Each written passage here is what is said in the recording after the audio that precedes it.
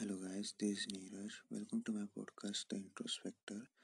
Here I'm going to talk about my journey of introspection and also how it's done and share some ideas and thoughts about it. Uh, so, let me give you a short info about what introspection is.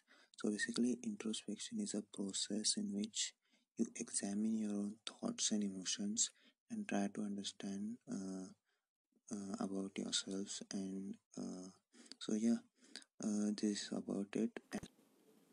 And yeah uh, there will be one podcast every single week on thursday.